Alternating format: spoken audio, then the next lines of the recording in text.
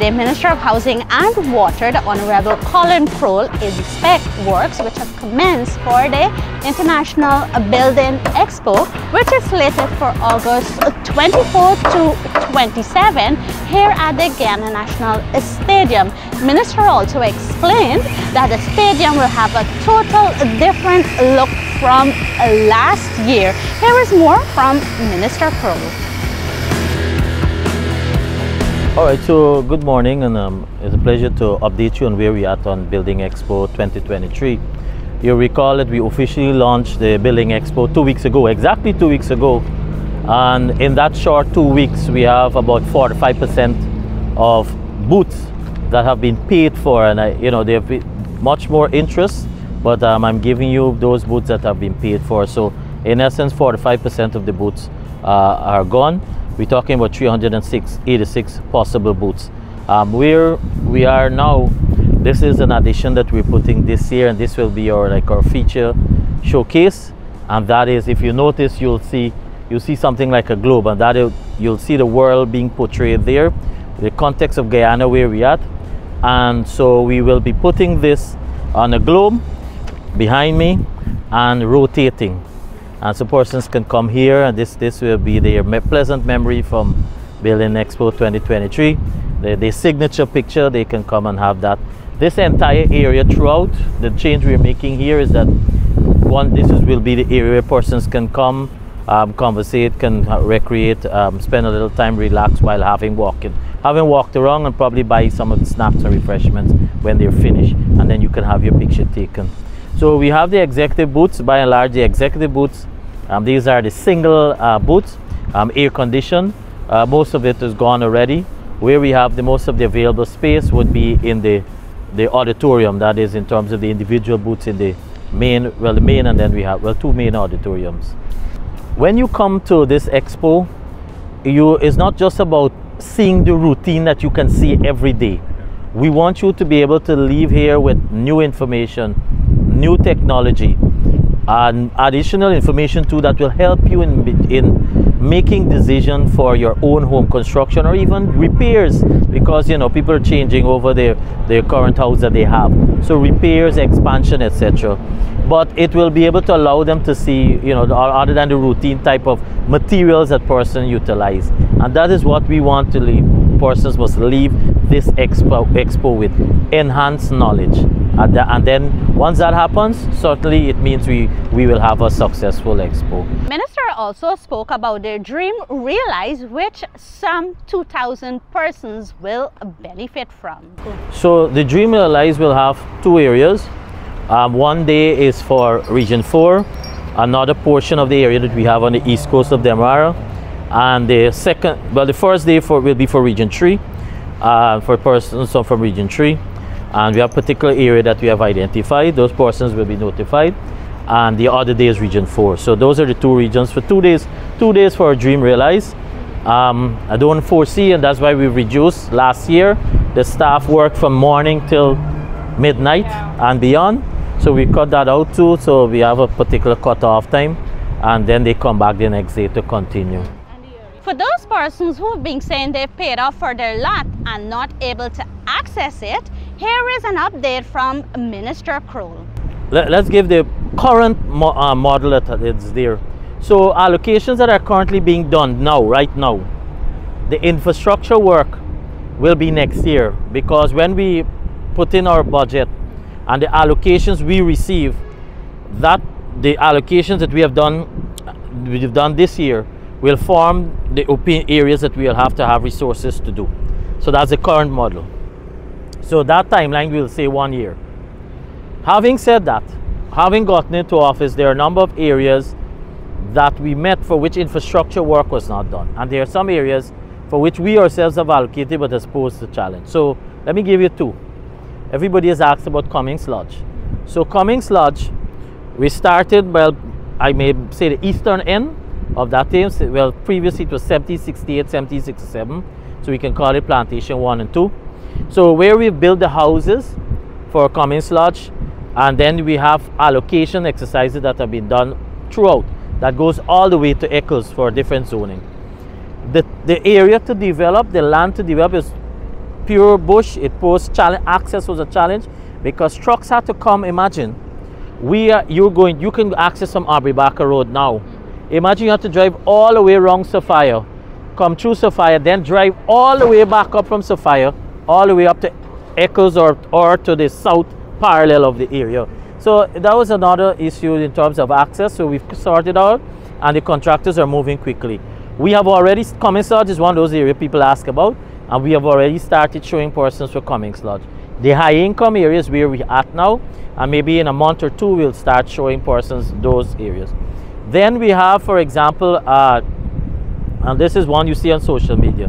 There's an area in Grove, an area that we allocated when we came into office, but we had challenge there. This is at the back of Caneville, and so we had challenge in terms of the area with drainage the east bank is as we go eastward or inward, if whichever one you want to see because eastward from that way, you're going to land that is posing some challenge in terms of being swamp per se, and that's because they didn't have drainage. These are lands were there and they didn't have to drain because no one occupied them. So we are addressing with drainage in their DNI of with through the Ministry of Agriculture a massive drainage program for the entire East Bank. And so as we address that, now the contractors are able to access their areas and that is why we had some delays in the infrastructure work for East Bank. But for those areas that we have allocated 2021, except those two areas that I've just highlighted, and that is Grove, Block 18 Grove. a lot of persons write on those on social media. The, all other areas persons should be able to and should by now been contacted to access their area or shown their land. So the infrastructure work that we have ongoing is for really last year, meaning 2021, 2022 allocations. And we have a few this year that we we have done on the East Coast that luckily those persons that can be able to get access by the end of this year. Because of what we've met and the gap in the housing sector, we have not been able to reach to that level of doing infrastructure work and then allocating. We do not have that luxury. The, the pending applicants are so much. Um, in fact, if you go in our LMS system, it show you about 80 something thousand. We have allocated 24,100 plus allottees since we were in office, August 2020 to now, meaning July, 24,100. Of that 24,100, you can quantify about 15,000 have already been shown where their land is. So this is another huge opportunity for the banks, insurance companies, construction sector, because people will be building on their own. Look between our acts, we're here on East Bank. So look between the access road that we built, where the four lane is, and then the access road that we have built prior, what ends at 6th and 7th Street Diamond. Look both sides, left and right. All persons can access those lands, and in fact, they've started to build. We'll go, just look between maybe Mocker Road to Diamond, and you'll understand what I'm getting at. Those are all people who have been allocated in this PVP tenure they have access and they can now build. And of course, we are addressing at the same time water because you have existing customers that are complaining about the water pressure. Then you have new customers, which is pulling the, the, the demand. So more wells are being drilled here um, for accommodate new housing areas. Here on the East Bank, a lot of complaints. We are addressing it in a massive way, and unfortunately, in the last three months or so, the diamond well, diamond well that was servicing so many customers uh, we could not resuscitate it, became inoperable, so we, we have now commenced drilling a new well there. So diamond residents are affected, and that's the original diamond I'm speaking of. They are all affected. People on the highway, Covent Garden, etc. Highway, we're drilling additional wells for them. We had a well um, close to Lockfoot where we had an issue. We built a new, we drilled a new well at Swan, and we're building a drilling additional wells to take care of the highway. Um, another aspect of highway we will target now. You recall His Excellency the President, someone asked me earlier, so I've made sure it's on the top of our agenda. So much work to do, but all has to be done. Recall His Excellency had alluded to regularization of the highway, but in clusters, meaning not that we're putting people everywhere they're occupying. Identifying, there were three areas that were identified that we could shift persons to, to regularize them and develop that area. That will take up some of our time um, from, for the rest of the year. So there's a lot of work ongoing, but all what is to help people to have a better life, people to be comfortable. Nobody wants, and that's why when you go home and don't get water, I can understand your concern. Nobody wants when you get off from work, whatever rigor you go through during the day, to get home in the afternoon and the last thing you want is to get the water or to deal with having to deal with your tenants or having to deal with um, encumbrances or having to deal with inconvenience, etc., wherever you live. So yes, we want to help home ownership, home building. It costs a lot of money. Your president understands this, and that's why he has been leading the chart in terms of helping us to get additional resources. Like for example, the 100 million US dollar through the Saudi funds is to enhance for housing sector, and you'll continue to see that. And similarly, you'll see construction of houses continuing. You heard him yesterday evening in his visit, alluded to more construction of houses. Of course, we need contractors to get on board. And lastly, Minister, congratulations on the single window bill that oh, passed you. last night. I know that's a good achievement for the CHPA and the Ministry of Housing. It's an achievement for Guyana because the single window it will transform the entire sector of how we do business again and change our mindset. So, you know, we watch news, we'll visit our family overseas, and you see how things are done by just holding on your phone. Everything is transacted on your phone. Similarly, we're getting there.